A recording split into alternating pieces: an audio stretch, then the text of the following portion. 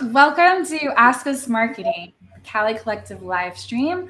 I'm your host, Kalli Fedosinko of Kalli Collective, a digital marketing agency serving financial advisors.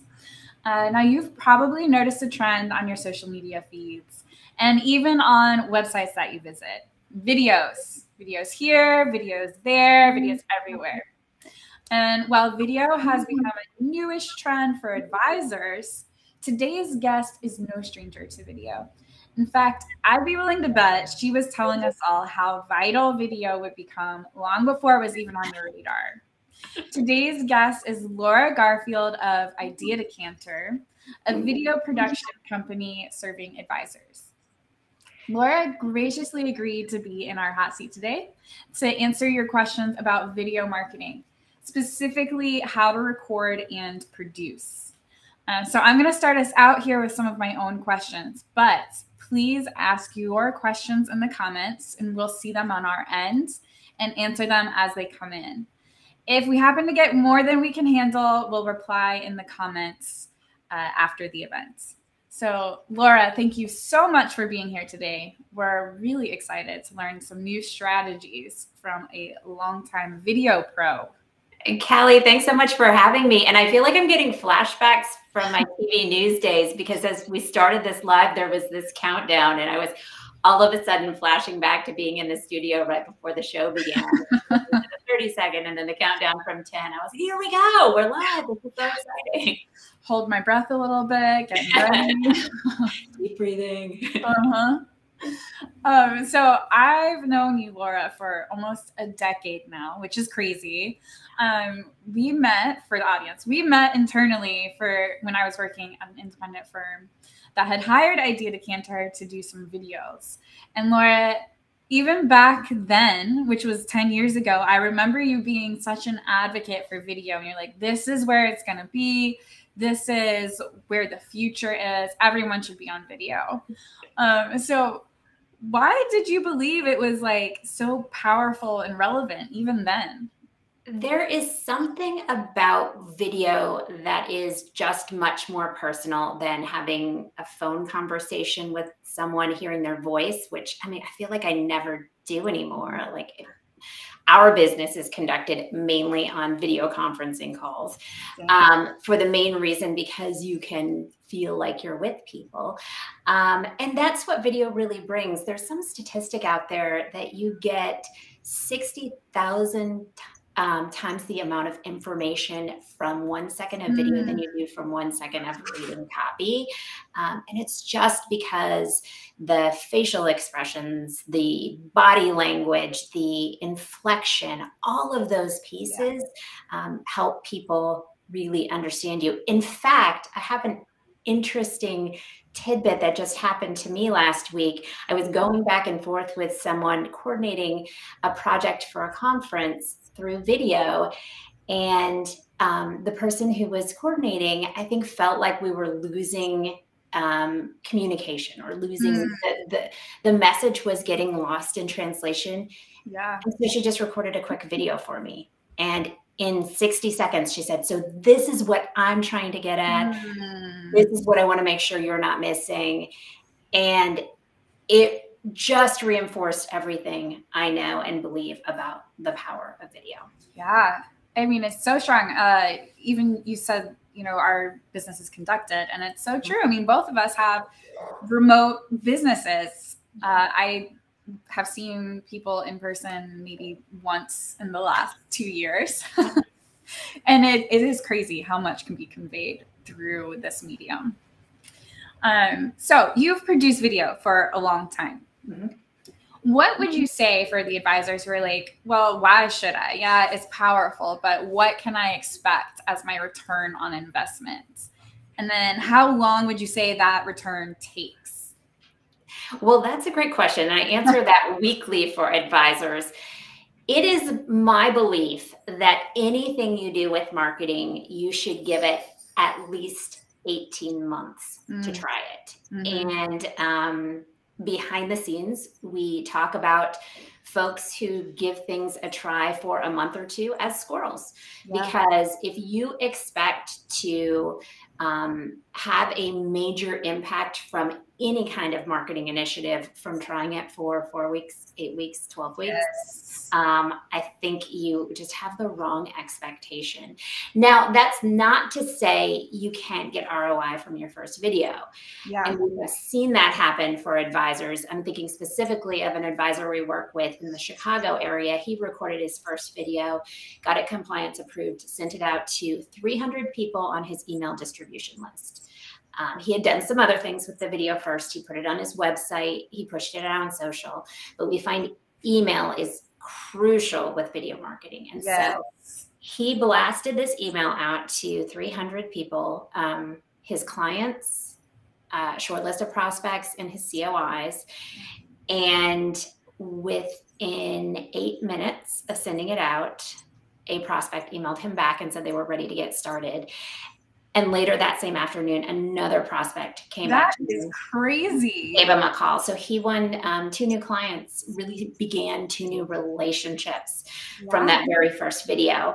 And it, that is not a standalone story. We do yeah. hear that from advisors. Um, but I think the key to getting strong ROI with video marketing is what I call the fourth quarter of the football mm-hmm. game.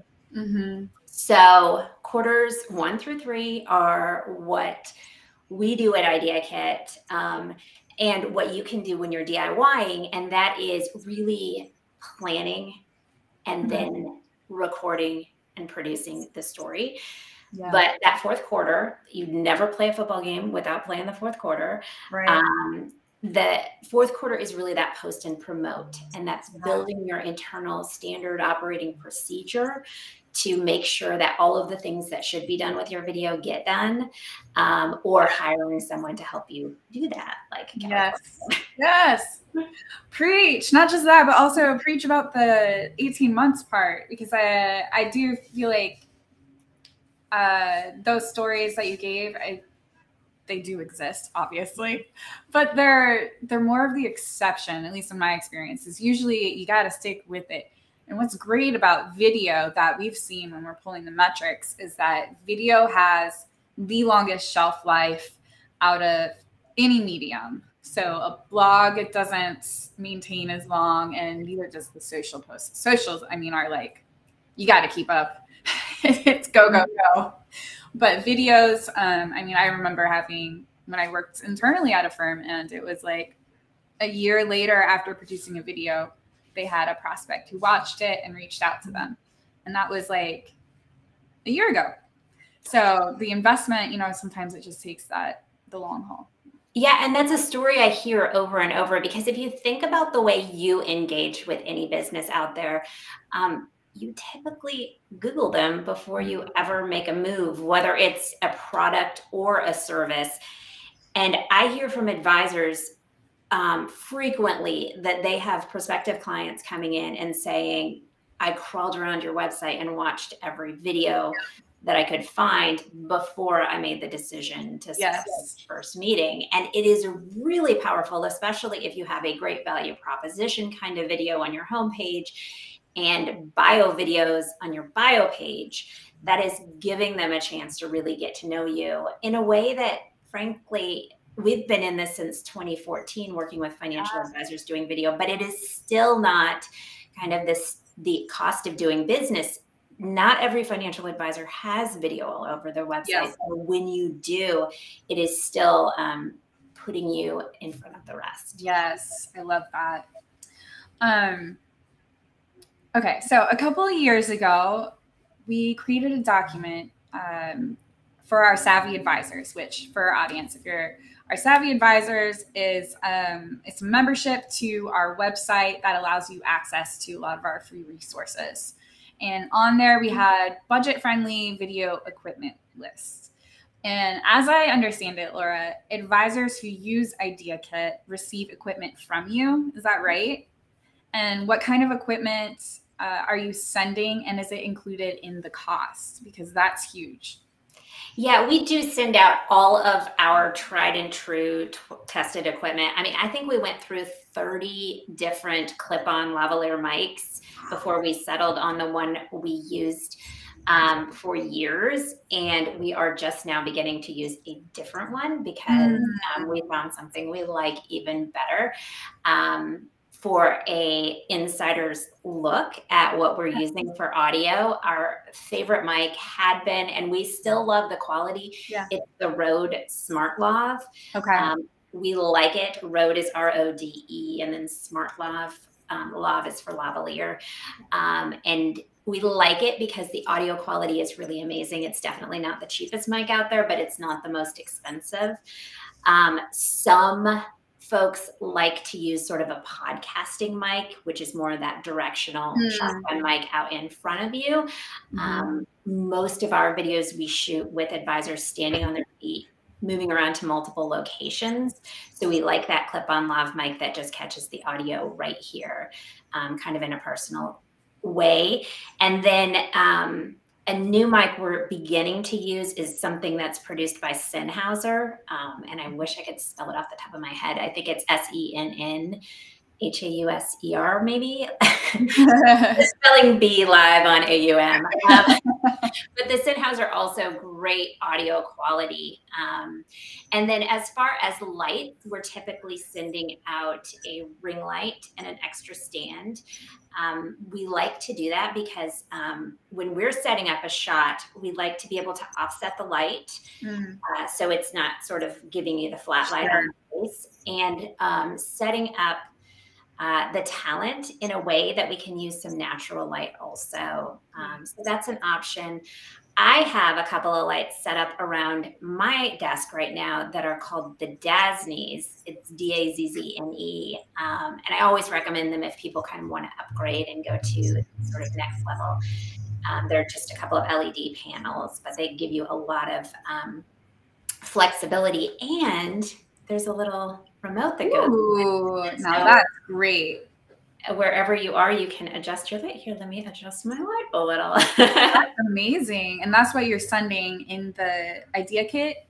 So the Dazznes are not, they are kind of an upgrade with the kit. Sure. Um, we're typically sending out a ring light and then the separate stand. I mean, I think the remote is worth it. So. I'm with you. Especially if you're doing it on your own. There's a lot you have to think about, and that'd be so much easier than let me walk yeah. over here, adjust this, walk back over yeah. here. um, now, if you or anybody has spent time on the internet, you've probably seen a bad video or 2 mm-hmm. um, Laura, how do you coach advisors who are experiencing anxiety over creating a video because they don't want to look dumb? Like, how do you walk someone through that? Because that's definitely, I mean, that's a fear everybody has if they've made a video. Is yeah. are people going to laugh at me?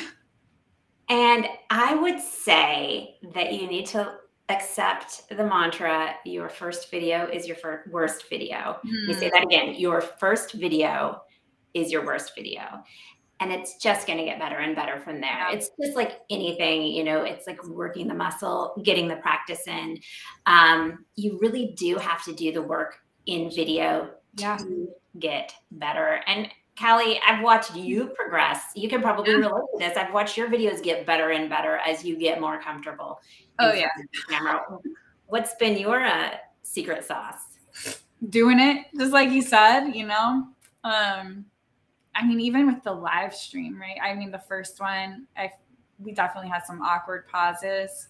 And that's when like, you know, you just learn as you go. I go, so I went in, I'm like, okay, I need to have a long list of questions mm-hmm. prior to getting in there. Otherwise, there's going to be some uncomfortable silences. So, beyond just recognizing that you're going to get better and better, you just hit on the other thing that's really important for video, and that is um, preparation. And yes. I do think people take for granted that, okay, if I can just get past the fear, I'm going to record this and that's going to yeah. be.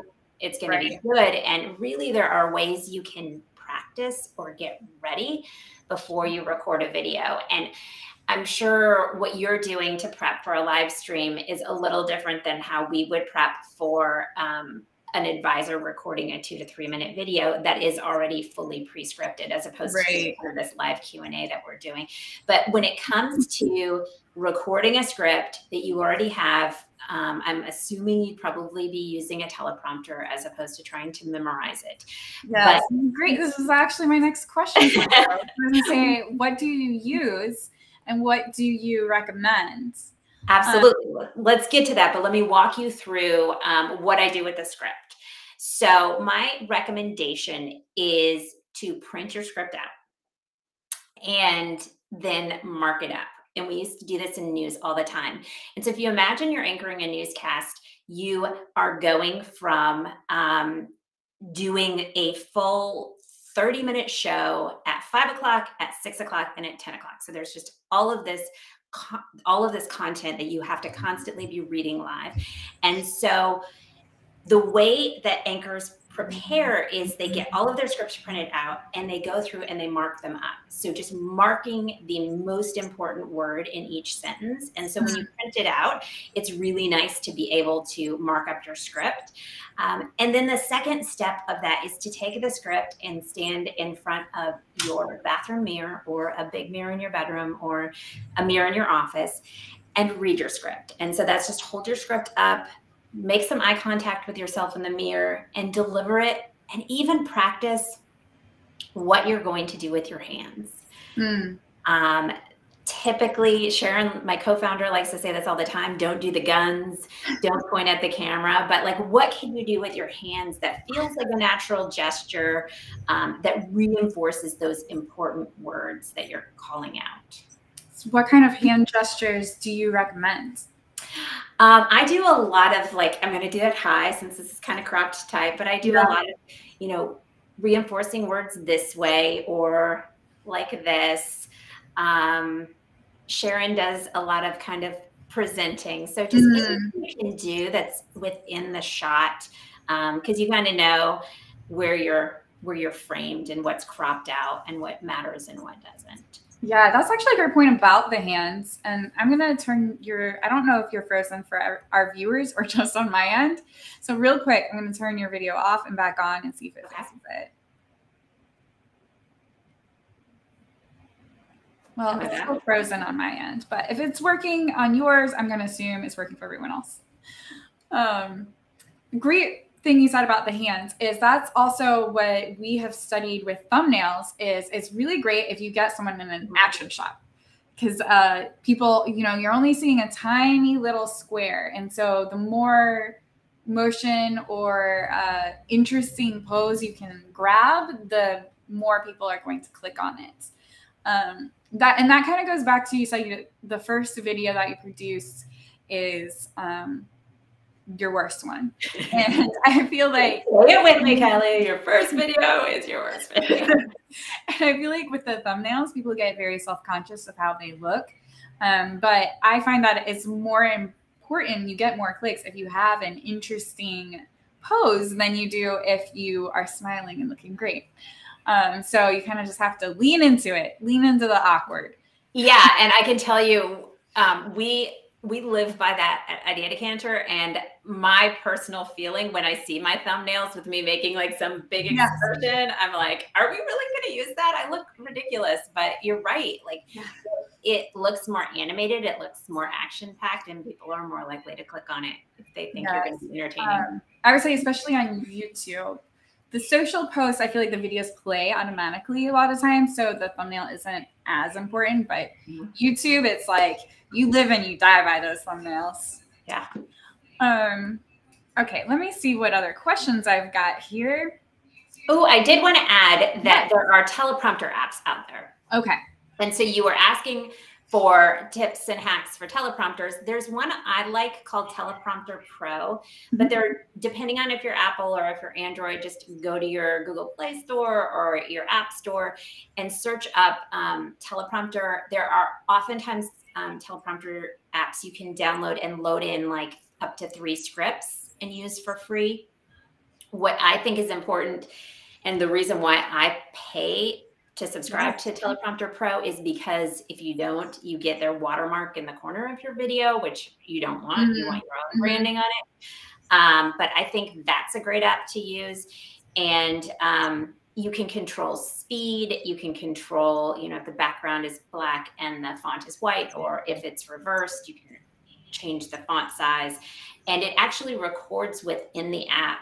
So you can see, you know, what's happening and then decide at the end of that record if you want to trash it or if you want to save it to your camera roll. And does that work on your phone and computer? Yeah, there I do not use teleprompter apps on my computer, mm-hmm. um, but I believe Teleprompter Pro does. Okay, perfect. Um, I personally like to record on my computer. Uh, if people are recording on their phone, what do you recommend? Um, so I've got my phone right here. I'll show. You can like have it facing towards you or this way. Obviously, there's three cameras on this end, so I'm going to assume the picture quality is going to be better here. Yeah. But then I can't see my um, yeah. teleprompter or, you know, what I look like. so, what do you recommend for people with? I would say if your phone is you've bought it within the last two years, you bought it new within the last two years, yeah. that you are safe to record on the selfie side, um, so that you can use a teleprompter app. You can check your face, um, make sure your hair looks good. Uh, the cameras all over the phone have come a long, long way, and most phones these days. It, you can record in 4K on the front or the back. Um, you're right. I only have two cameras on the back of mine, but they are amazing. So we we use the back cameras on phones a lot to shoot what we call B-roll or cover video. Um, but in any situation where you think you want to be able to see yourself, I would go ahead and mm. use the selfie side. Got it. Love that advice. Um. Okay. I've got a question here. We're about seven minutes out. So I think I'm going to go to some of our quick questions for you. Um, they're practical ones. So, how many videos should I shoot at once? I like to do three if possible. Okay. And the reason why is depending on your cadence, most of our advisors we work with record or release rather a video a month. Mm-hmm. And so when you record three at a time, you actually have a whole quarter's worth of mm. content mm. that goes through compliance and is ready to use all at once. Um, for our own marketing purposes, our cadence is once a week. And so, but I am not starring in every video. So if I can record one video in a shot, um, I'm just getting more content done at one time. Um, and what I'm talking about here is probably like two to three minute videos. If you're shooting shorts, you can probably do more in one session. Um, what you really run into is just being able to be present and be in the right mindset and keep your energy up through as many videos as you can. So if you go in thinking, I'm going to shoot 12 shorts you know 12 one minute videos and knock this out and we're going to be set for the next three months. Right. Um, that's fantastic but if you can if you find that you have the energy to keep it up or if you want to drink coffee beforehand and really amp yourself up. Right. Um, but uh, really, that's what i do so. Kalli's secret video tips. Caffeine um, so, you know, speaking of that, if I'm doing three videos in a row, is it okay if I wear the same thing in all of my videos? I think absolutely you can. Um, and it's certainly fine to also do a quick wardrobe change. I mean, you could take a top and change a jacket. Yeah. Um, you know, your your whole body isn't really showing. So if you have three options that are, you know, hanging on the back of your door and you can do a quick change, I think that's always a great idea. Yeah. Um, someone who works on our team, um, Jesse, is always saying, well, the more places you can shoot, the bigger you look. Like, it looks like you're a mm-hmm. bigger office.